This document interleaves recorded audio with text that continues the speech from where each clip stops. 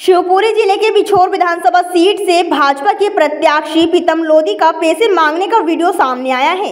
Video में प्रीतम कह रहे हैं कि आप यह जानते हो कि मैं तीन चुनाव हार चुका हूँ, इसलिए मेरा निवेदन है कि सौ रुपए की मदद करें। बता दें कि प्रीतम लोधी साल 2023 और 2018 से बिछोर विधानसभा से भाजपा प्रत्याशी कर रहे हैं, लेकिन उन्हें दोनों ही बार कांग्रेस के केपी सिंह से हार का सामना करना पड़ा। इससे पहले वे साल 2018 से ग्वालियर विधानसभा सीट में भारतीय जनता पार्टी के प्रत्याशी रहे थे, तब भी वे हार गए थे। पैसे मांगने के सवाल पर प्रीतम लोधी ने कहा कि हाँ पैसे मांग रहा हूँ। बिना पैसे के मैं चुनाव कैसे लड़ूँगा और मेरे पास पैसे आने भी लगे हैं। मेरे प्यारे देशवासियों, सबको नमस्कार। जैसा कि आप सब जानते हैं कि भाजपा ने मुझे तीसरी बार प्रत्याशी बनाया है।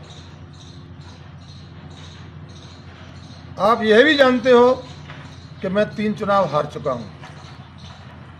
इसलिए मेरा आप लोगों से अतः निवेदन है कि एक सौ रुपये की मदद, की शक्ति प्रदान रूपी मदद मुझे प्रदान करें। और ये सौ रुपये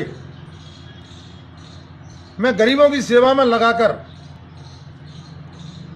आपसे वादा करता हूँ कि मैं ब्याज के गरीबों की सेवा में लगाऊँगा। धन्यवाद। शिवपुरी से कुलदीप गुप्ता की रिपोर्ट।